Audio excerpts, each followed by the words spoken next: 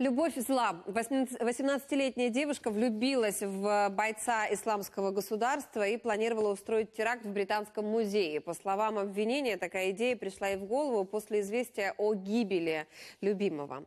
Лондонский уголовный суд приговорил девушку к пожизненному заключению. Нападение Сафа Булар готовила вместе с матерью и сестрой. Спецслужбы впервые выявили террористическую ячейку, которая состоит исключительно из женщин. 사운드는